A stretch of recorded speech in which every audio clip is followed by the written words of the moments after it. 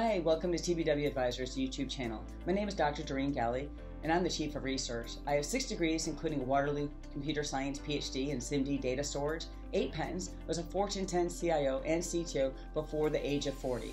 Now, as an industry analyst, I advise enterprise technologists on their specific architectures. Be sure to become a YouTube subscriber, and you'll get notified when new videos are posted, whether they are research summaries or videos straight from the conference floor become a client subscriber over on our website and you'll get access to the entire research library in all formats as well as inquiry privileges. So this video is the summary for Whisper Rankings Data Virtualization Platforms Q1 2020. Modern data virtualization platforms are increasingly becoming a critical part of data architectures for the digitally transformed. Many data virtualization platforms provide data as a service, data preparation, data catalog, logically centralized governance, the ability to join disparate datasets, and an extensive list of query performance optimizations. Likewise, data virtualization platforms are increasingly being used to support six different and critically important use cases.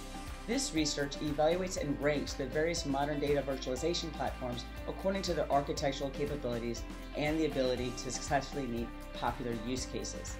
That's right. So if you are considering data virtualization, you definitely want to become a paid client subscriber and get access to this research as well as inquiry privileges on this topic.